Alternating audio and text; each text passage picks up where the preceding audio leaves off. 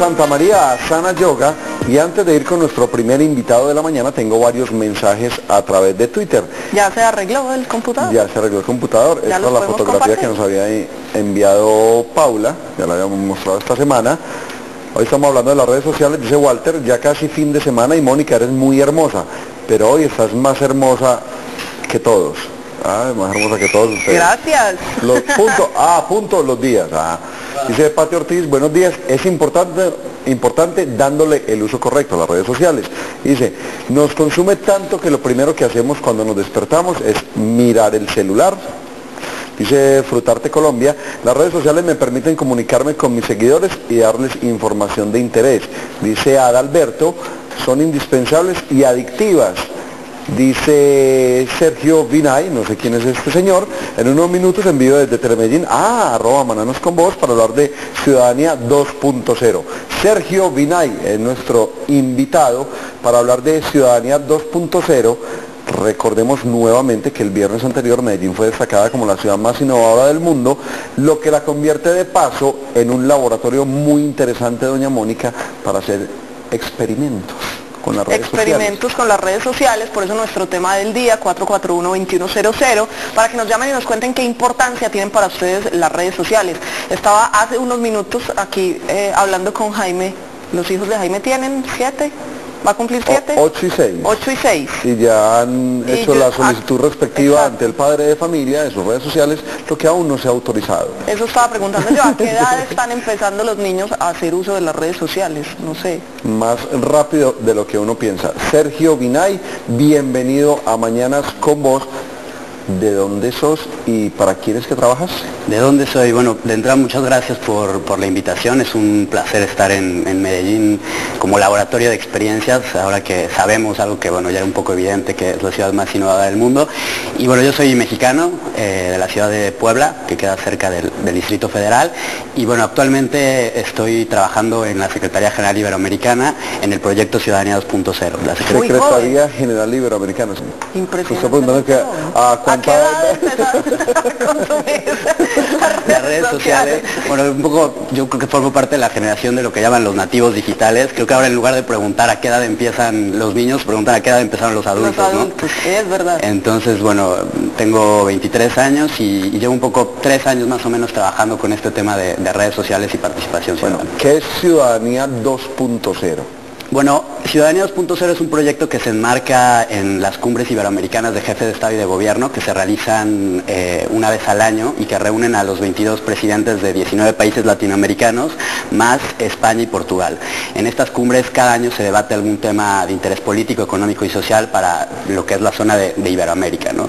Entonces nace un poco eh, de la idea de romper con el protocolo de la cumbre. ¿no? Las cumbres de presidentes pues las vemos siempre, ¿no? con la foto de familia, con los discursos oficiales y la idea era un poco abrirle las puertas a la ciudadanía para que participaran en estas cumbres. Entonces, acceso, que nos enteremos más de lo que están haciendo. Claro, Jaime, enterarse y además tener la posibilidad de incidir de alguna forma, ¿no? Y las redes sociales pues brindan esa oportunidad para, para empoderar a la ciudadanía en el marco de las, de las cumbres. Entonces, actualmente los objetivos del proyecto es eh, impulsar la participación ciudadana en Iberoamérica, en toda la región a través de los medios digitales, de las redes sociales, impulsar proyectos también de, innovación social, hoy se habla mucho de innovación del lado tecnológico, pero cuál es la, la base eh, social que puede tener este impacto y finalmente crear redes como lo que estamos creando ahora, ¿no? con, con- con los seguidores de Mañanas con Voz, de Medellín, con la gente que participó en el proyecto M24, eh, generar redes Ah. que, que- que- que empoderen a, a la ciudadanía. ¿Cuál es tu misión en Innovación 2.0?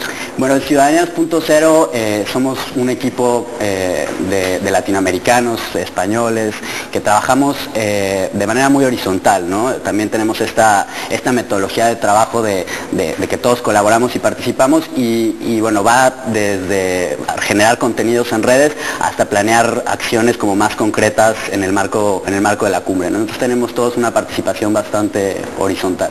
Crear contenidos. eh, mucho porcentaje de la gente que utiliza las redes sociales lo tiene como un hobby. Pues me refiero a que pues, ponen comentarios de que estoy almorzando con Mónica, ponen fotos de sus mascotas. Esto ha cambiado un poquitico, cada vez la gente lo toma más en serio y menos como un medio de comunicación informal. A ver, es claro que hay muchísimo trabajo que hacer para pasar de los likes, de incluso comentarios que pueden ser este, un poco vacíos de, contenido de sentido, a realmente una participación efectiva. ¿no? Realmente, eh, si bien el discurso de las redes sociales es muy positivo en cuanto a las puertas que abre, eh, no asegura y no garantiza una participación efectiva de por sí. Entonces hay mucho trabajo de formación que generar. Pero Vinay, ¿es necesario pasar de uno al otro o se pueden manejar los dos contenidos? Es decir, que la gente lo utilice para sus cosas like, que son sus gustos personales, pero que a la vez genere contenidos. ¿O el uno necesariamente tiene que reemplazar el otro? No, yo creo que es, una, es una dinámica como la de los medios tradicionales, ¿no? que como podemos ver un programa de entretenimiento, también tenemos que generar un interés por ver a lo mejor un programa más cultural. Entonces yo creo que eh, el, ideal está en mezclar los dos usos y, sobre todo en, en generar ese interés por, tener el uso un poco más, más formal y de interés. ¿no? Yo creo que empieza mucho eh, también desde el lado del, entretenimiento, ¿no? como a través de, programas más sencillos, de contenidos más fáciles, más alegres, se puede motivar esta participación formal. Entonces yo creo que al contrario, o sea, el uso informal eh, es lo que puede generar un verdadero uso de, participación de estos medios. ¿Nos podrías contar ejemplos tenemos a nivel mundial eh, pues muchas noticias, por allá en Egipto, cuando se convoca a protestas, en el caso de nuestro país, a marchas, pero casos como exitosos de, de, ese gobierno en línea, que es que todos tenemos la facilidad de acceder a los programas de gobierno, a lo que están haciendo con los dineros de los impuestos, ¿qué se ha dado en Iberoamérica que no diga, por ejemplo, en México hicieron tal cosa a través de las redes, la gente convocó a esto. Claro. actualmente eh, estamos trabajando muy de cerca con el gobierno de Panamá. Como ustedes saben, la próxima cumbre iberoamericana es en Panamá en el mes de octubre. Y mm, bueno, Panamá cuenta con una oficina que está eh, inscrita a la presidencia que se llama Participa Panamá. Y actualmente ellos tienen muchos proyectos en, los cuales usan las redes sociales eh, como complemento de políticas de, de acceso a la administración pública. ¿no? Tienen un programa que se llama Gobierno Móvil que lleva de forma presencial todos los servicios de gobierno y además complementa con las redes sociales para que la gente se vaya vinculando con esto. ¿no? Entonces yo creo que a nivel gubernamental es una experiencia bastante, bastante destacable y que, y que bueno, ya se tendrá la oportunidad de, hablar más de eso en, la cumbre de Panamá. Y después están todas las iniciativas que vienen del lado, del lado de, la, de la ciudadanía. Conviví aquí en Medellín con un grupo de jóvenes que se llama Cártel Independiente, eh, que se dedican a promocionar a los artistas independientes y jóvenes de la ciudad de Medellín a través de las redes sociales. ¿no? Entonces yo creo que también esas iniciativas, eh, que en Medellín hay bastante de innovación social, eh, tienen mucho que aportar a las iniciativas gubernamentales. Dina, ¿y qué es lo que va a pasar en Medellín con esto de Ciudadanía 2.0? ¿A qué pueden acceder los habitantes de esta ciudad? ¿Cómo pueden participar? ¿Qué va a ocurrir con este evento en la ciudad? Bueno, la idea es que a partir del, mes de junio eh, Ciudadanía 2.0 se instale de alguna, de alguna forma en la ciudad de Medellín, es la ciudad más innovadora del mundo y tenemos el gusto que, la ciudad más innovadora del mundo esté. se, siente tan bueno cuando, cuando, lo decís, a mí uno es como, ah, Ay, me ah, Claro, esto es Medellín, es la ciudad más innovadora del mundo. Ahora ya todo, se quiere hacer de Medellín. Pero, pero bueno, la idea es que nos instalemos eh, aquí porque estamos en, Iberoamérica, hay que, hay que valorizarla como capital de, de, la innovación en, nuestra región y, y, hacerlos partícipes de, diferentes dinámicas, eh, sobre todo de producción de contenidos que vamos a ir generando con, con distintos proyectos de innovación social con los cuales iremos haciendo alianzas durante, durante esos meses, con vistas a la Cumbre de Panamá, pero también proyectos más de, más de largo plazo. Aquí estoy en la página Ciudadanía 2.0, pero es 20.org. ¿Qué encuentro yo acá? Por acá veía este señor de calle 13, hay mucha información, hay muchos videos, este video es súper interesante, no se lo pierdan, ese personaje que está ahí. ¿Qué encuentro yo en la página de Ciudadanía 2.0? Bueno, por una parte tenemos eh, contenidos eh, un poco más eh, estructurados sobre, sobre el tema de participación ciudadana, innovación social. Estamos intentando promocionar mucho estos conceptos y divulgarlos a través de Internet. Y después tenemos una parte también de, interacciones con, la ciudadanía. Usamos mucho esta herramienta de Hangouts, no sé si, si, la han escuchado, en la cual bueno, establecemos conversaciones con la gente que está trabajando en temas de cooperación. en Iberoamérica tenemos muchos programas eh, por ejemplo, Ibermuseos, que pueden ver ahí, que, intenta promover eh, los museos en, toda, en toda la región. Intentamos darle una cara ¿no? a la gente que, trabaja. Uno piensa que, las cumbres y la cooperación está hecha solo por los presidentes o por las fotos que vemos, y en realidad atrás hay mucha gente que está comprometida con, con impulsar proyectos que realmente tienen un impacto en la ciudadanía. ¿no? Entonces también intentamos darle cara a estos proyectos y complementarlo con información, vamos a decir, un poco más técnica sobre participación ciudadana e inclusión. ¿Vinay ya terminó los estudios? Vinay no ha terminado los estudios La mamá le dio permiso de venir a Medellín. No, actualmente estoy estudiando eh, una maestría en, comunicación. 23 años. una maestría, Yo, ya no hice eh. maestría. ¿Qué dificultades tiene? En comunicación, perdón Jaime. Sí, sí en comunicación. ¿Qué dificultades tiene esto de la ciudadanía 2.0? Se me ocurre pensar el caso de Cuba, donde esta bloguera famosa, donde cortan internet. Esas son las dificultades que tiene cuando las políticas no están tan abiertas.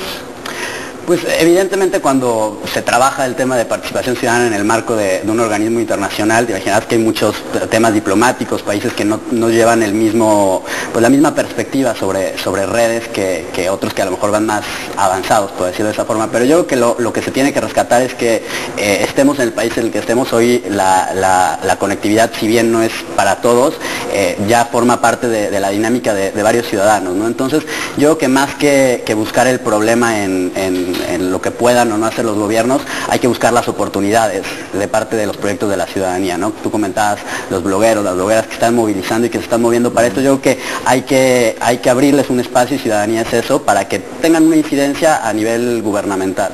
¿Cuál es, Vinay, la invitación a los paisas? ¿Cómo, ¿Cómo pueden participar? ¿Qué hay que hacer? ¿Cómo hacemos parte de este proyecto? Bueno, de entrada, eh, la, idea un poco de, venir aquí con ustedes hoy era, pues abrir una invitación a, los países a que se conecten con nuestra página, con nuestras redes sociales y que a partir del mes de junio pues empecemos a, generar a lo mejor una propuesta que, se pueda presentar desde, desde Medellín, una acción concreta para que eh, hackemos en el buen sentido de la palabra la cumbre de Panamá y podamos aportar un producto que venga desde la ciudad más innovadora del mundo. ¿no? Entonces, a través de ciudadanía 20.org, de nuestras redes sociales en Twitter, Segib Digital, estaremos promocionando eh, estos proyectos para que bueno, queden las puertas abiertas y, tomando muchas ideas como la de M24 que realizó Telemedellín hace... ¿Viste ah, algo de M24? Por supuesto, ahí, ahí, tenemos un artículo en la, en, el, en, el, en la página de Ciudadanía y nos pareció fundamental porque los gobiernos no son los únicos que tienen la capacidad de crear plataformas de participación ciudadana, sino que los medios de comunicación, sobre todo los medios de comunicación locales que tienen mucha cercanía con la gente, juegan un papel fundamental en esto. Entonces nos pareció excelente y esperamos que, se repita aquí y que se replique en otros países de, la región. ¿Cómo es el proceso un poco para participar? ¿Ingresar a la página, unirse? ¿Cómo se generan los contenidos? ¿Dónde me inscribo? ¿Cómo los contacto? Bueno, la plataforma de contacto que usamos normalmente son las redes sociales. Intentamos ser súper reactivos. Cada tweet que nos llega lo respondemos, eh, los mensajes que nos envían directos les damos una, atención, mucha gente nos envía proyectos e intentamos darle un espacio a cada uno de los proyectos que nos envían, ideas, eh, somos sobre todo un, espacio de vinculación, muchas veces nosotros no podemos dar la respuesta eh, completa, a lo mejor un proyecto que nos mandan jóvenes, pero intentamos vincularlo con las organizaciones que, lo, pueden, que lo pueden apoyar. Entonces, trabajamos ahora sí que como, como la gente que usa las redes sociales, ¿no? Eh, en Twitter, en Facebook, en YouTube también nos pueden contactar por correo electrónico, pero, pero bueno, yo creo que es más fácil a través de nuestras, de nuestras redes. Quiero leer eh, el artículo que nos mencionaba Binay, dice en uno de sus apartes, M24 logró marcar un hito en la historia de la televisión y de la industria cultural en Iberoamérica. En los próximos años en América Latina se enfrentará a un periodo de consolidación de la llamada economía de la cultura. En este proceso, los medios de comunicación deberán aportar un valor agregado en su oferta de contenidos. ya lo hicimos. Lo logramos. Lo logramos, pero ese es el punto de partida. Bueno, y además lo logró la gente precisamente con su participación a través de las redes sociales. Eh, recordemos que fuimos hashtag Sí, trending topic. trending topic. en Colombia, eh, ese día de M24, y bueno, lo logró la gente con su participación a través de las redes sociales. Este proyecto INAI, ¿cómo es viable? ¿A ustedes quién los apoya? ¿Quién Sí. paga? ¿Quién patrocina? ¿Dónde te ¿Quién estás soporta quedando? ¿Qué has, qué qué has comido? ¿De dónde has sacado para el desayuno? ¿Has comido? ¿Has Aquí, comido? pues, Sí, por eso vengo a programas donde hay desayunos y de esa manera me voy nutriendo para estar más activo en las redes sociales.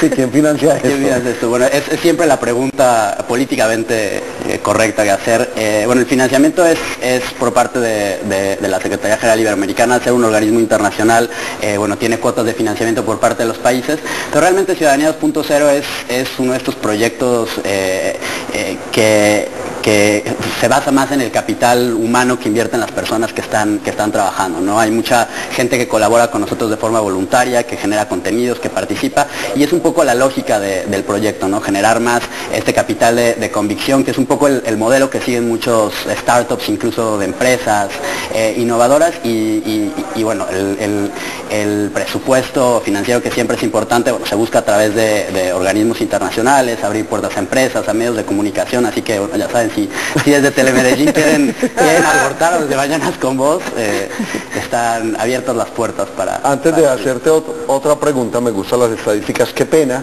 Dice M24 en números, M.24telemedellín.tv, 12.200 visitas desde Estados Unidos, Canadá, México y Australia.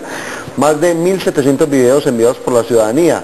Twitter, numeral M24, tendencia en Colombia por más de 10 horas seguidas, arroba Telemedellín, 7.722 menciones, 1.134 nuevos seguidores en las 24 horas de programación.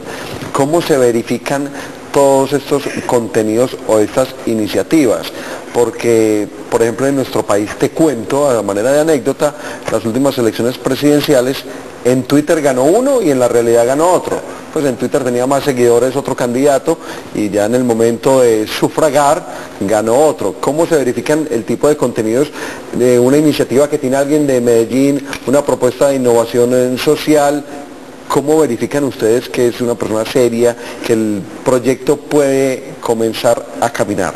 Bueno, en este caso, eh, estos números, mando un saludo a mi compañera Sandra, Sandra que es colombiana, que está desde Madrid eh, y que fue ella quien generó el- la, la infografía que, que podemos ver ahora, eh, fueron basados en un medio de comunicación de aquí colombiano, pero bueno, lo que, lo que indicas es muy cierto, ¿no? Cómo equiparar la parte cuantitativa que vemos en las redes sociales con, con- con el impacto real que se puede tener. Y yo creo que, que la clave está en, en, si bien podemos tomar como referencia las redes y lo que se genera, no solamente ver eso, ¿no? tener siempre en cuenta eh, métodos clásicos de, impacto y, tener estos todos porque hay que recordar que al final en, nuestros países, en América Latina, eh, la brecha digital todavía es un problema bastante, bastante fuerte y, que también un poco el compromiso de, la participación ciudadana en los medios digitales es multiplicar el acceso. ¿no? Nosotros creemos que, que si queremos generar un impacto que podamos cuantificar en redes sociales, primero tenemos que ponernos a trabajar en temas de, formación y de compartir el conocimiento que tenemos sobre Internet con la gente que a lo mejor no tiene acceso